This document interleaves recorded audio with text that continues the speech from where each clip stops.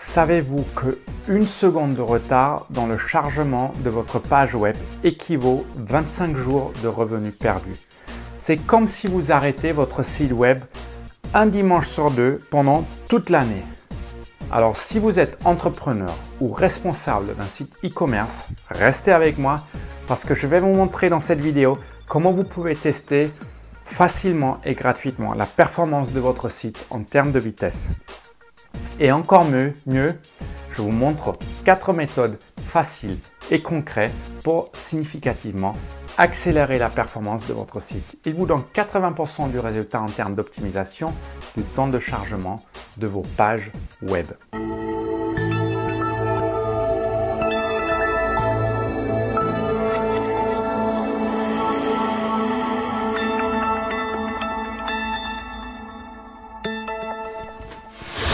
Je m'appelle Tom Green, créateur du blog Conversion au carré, l'endroit sur le net où vont les entrepreneurs, webmasters et blogueurs pour trouver des conseils insensément pratiques basés sur la recherche scientifique pour augmenter leur taux de conversion et leurs revenus.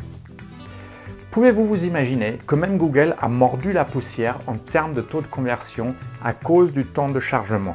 Son vice-président Marissa Meyer a lancé un test instructif et catastrophique en termes de résultats. En faisant une enquête pour savoir combien de résultats de recherche organique présentés sur la première page, les utilisateurs ont suggéré 30 à la place de 10. Alors Google l'a mis en place sur un certain nombre de pages dans le cadre d'un test et les résultats ont été désastreux. Les pages qui ont affiché 30 résultats de recherche ont eu en moyenne une chute de trafic de 20% par rapport à ceux qui ont affiché pour le même mot-clé de recherche seulement 10 résultats, c'est-à-dire comme d'habitude. Google a fait ses devoirs et a constaté que les pages avec 30 résultats mettaient une demi-seconde de plus à s'afficher que le résultat avec 10 résultats. Réfléchissez, si une demi-seconde a fait une telle différence, imaginez-vous l'impact que vous pouvez créer si vous pouvez réduire le temps de chargement de vos pages d'une ou deux secondes pour tous ces internautes super impatients. Alors, rentrons dans le vif du sujet. Avant de pouvoir optimiser la vitesse, il faut d'abord correctement mesurer. Pour cela, je vais vous montrer comment utiliser Google PageSpeed, un outil qui est gratuit et les modifications à apporter à Google Analytics pour mesurer la vitesse de chargement de chacun de vos pages, chacune de vos pages. L'optimisation ensuite de la vitesse de votre site peut rapidement devenir très compliquée. Par contre, j'ai une bonne nouvelle pour vous. Avec seulement 4 méthodes faciles à mettre en œuvre que je vais vous présenter en détail, vous pouvez réaliser 80% du résultat en termes d'optimisation. Voilà, nous commençons alors avec les deux moyens de mesurer la vitesse de votre site. La première est une, euh, mesure relative qui se fait dans Google Developers. Vous avez ici euh, l'URL, vous tapez developers.google.com slash speed slash page speed slash insights. Je vais vous mettre le lien dans les euh, notes en dessous dans l'article. Une fois que vous êtes là, vous arrivez sur cette page et là vous mettez simplement votre URL ici et vous cliquez sur Analyze. Ça dure normalement un petit instant et vous avez ici alors, le PageSpeed Score. Le PageSpeed Score est une mesure relative de 0 à 100. Si vous avez un score de 100, ça veut néanmoins pas dire que les pages se chargent en absolu très rapidement. Le score indique simplement si par rapport à votre infrastructure et votre optimisation on-site déjà en place, quel est encore le potentiel d'amélioration. Un score de 82 est assez honorable. Si vous n'avez pas encore euh, optimisé votre site, vous avez probablement un score qui est inférieur. Dans la colonne de gauche, vous trouvez alors les éléments que Google a identifiés pour optimiser la vitesse de votre site et vous trouvez aussi un résumé au milieu de la page ici en dessous. Les méthodes que je vais vous présenter après, les quatre, vont ressoudre une bonne partie de ces choses-là et ce sont en particulier des méthodes qui ne sont pas trop techniques. Sur la droite ici, vous trouvez aussi une petite icône mobile qui vous donne le même score pour l'apparence de votre site sur des sites mobiles. La prochaine étape consiste à mettre en place un moyen de suivre page par page sur votre site les temps de chargement. Ceci est possible simplement avec Google Analytics. Par contre, ça nécessite l'installation de deux lignes de code supplémentaires et je vous montrerai tout de suite comment le faire. Si vous avez un site qui ne tourne pas sous WordPress, rajoutez simplement les deux lignes de code suivantes en couleur ici dans votre script de tracking Google Analytics qui se trouve entre les balises head et slash head. Vous les trouvez aussi en dessous le lien. Si vous avez un site WordPress, je vous montre comment vous pouvez rajouter ces deux lignes de code de tracking dans votre script. C'est un jeu d'enfant, même le petit Paul pourra le faire. N'est-ce pas Paul? Si vous êtes sous WordPress, l'installation des deux lignes de code est très facile. Euh, installez simplement un plugin, euh, par exemple Google Analyticator, vous le trouvez ici sur mon blog, vous tapez Analyticator dans, dans le champ de recherche et ensuite vous l'activez et vous allez dans les réglages qui se trouvent ici. Ensuite, vous vous assurez que le plugin est enabled ici. Et bien sûr, il faut une Google Analytics euh, ID, c'est-à-dire c'est un code qui commence avec UA- et un certain nombre de euh, numéros. Comment l'obtenir? Il faut créer un compte Google Analytics et ensuite euh, suivre un tutoriel. Il y en a plein sur YouTube. C'est un jeu d'enfant aussi.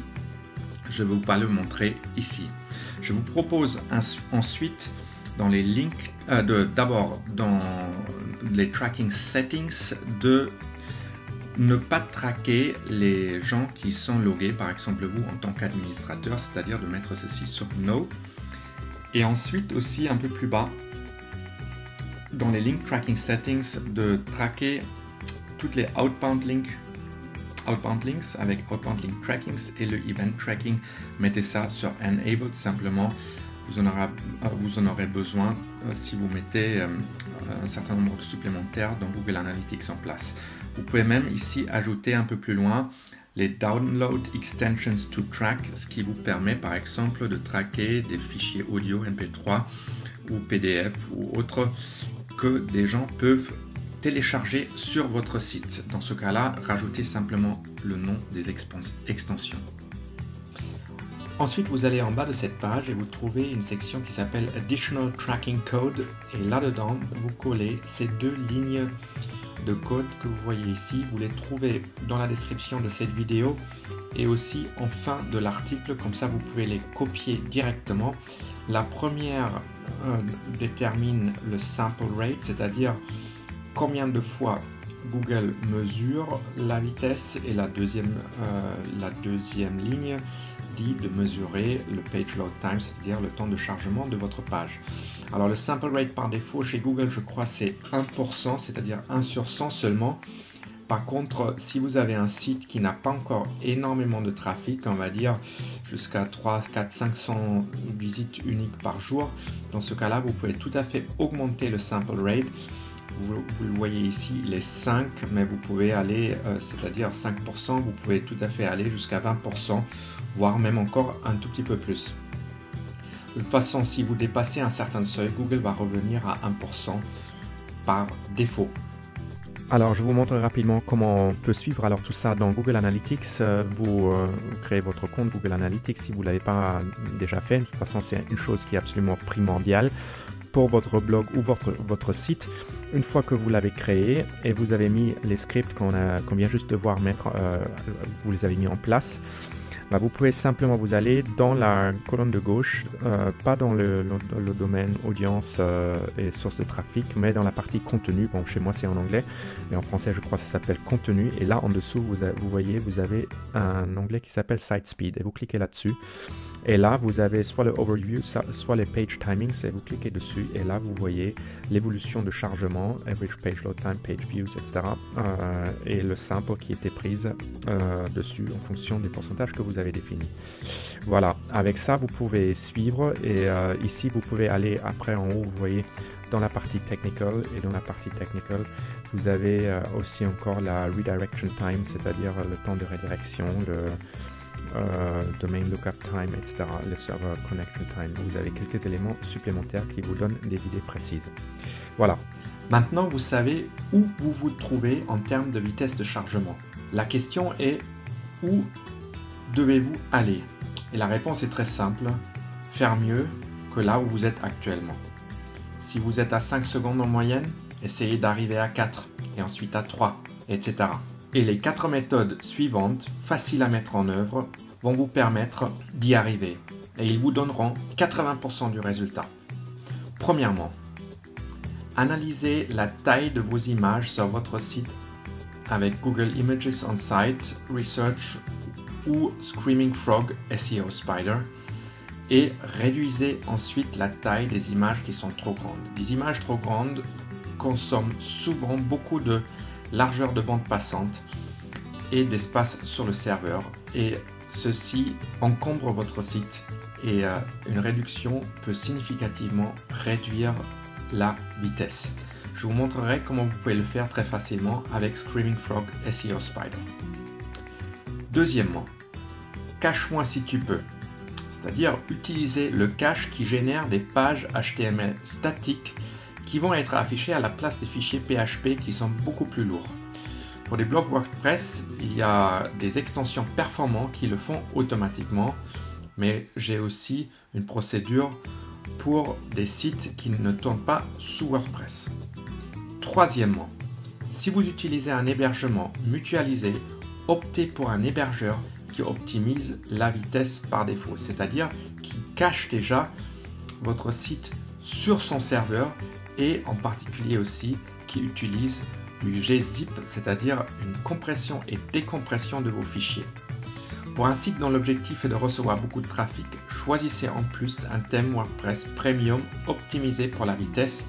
Ici, les deux qui sont les mieux adaptés, c'est la gamme de thèmes de StudioPress ou euh, Thesis.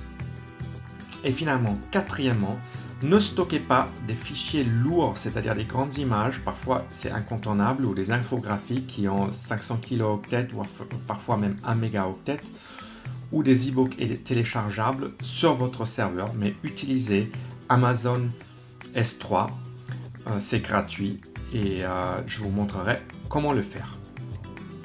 Alors ensuite, vous allez pour les images, premièrement, alors sur Screaming Frog SEO Spider, c'est screamingfrog.co.uk. Euh, je vous mets le lien en dessous et vous pouvez télécharger soit la version Windows, soit la version Mac ici à droite. C'est euh, la version gratuite est suffisante pour analyser 500 URL, ce qui est tout à fait suffisant. Euh, et ensuite, une fois installé, vous tapez simplement votre adresse, votre URL ici en haut vous cliquez sur Start, euh, Start et ensuite vous cliquez dans les onglets en dessous sur Images.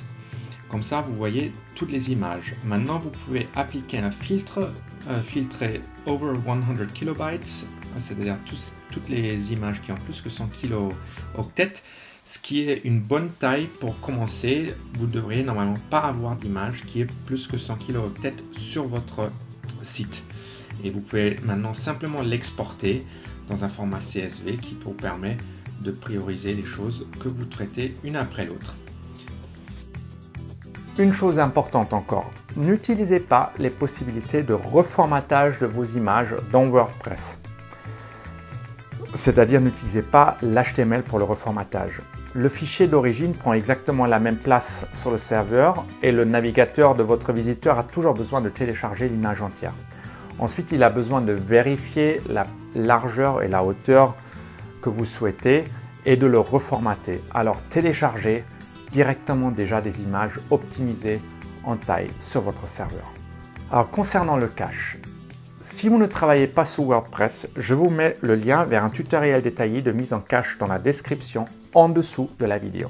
Alors si vous travaillez sous un, euh, sur WordPress, c'est très simple, vous avez simplement à installer un plugin de mise en cache. Celui que j'utilise le plus souvent et qui marche parfaitement, c'est W3 Total Cache. Vous le voyez ici, vous le cherchez dans les extensions, vous l'installez et vous l'activez. Il va faire tout le travail de mise en cache de tous vos différents fichiers et ainsi sensiblement améliorer la vitesse de votre site. Alors on va voir une fois que vous l'avez installé, le W3 Total Cache, ça va vous rajouter ici dans votre, euh, euh, dans votre tableau de bord un élément qui s'appelle performance, vous le voyez là, ça c'est le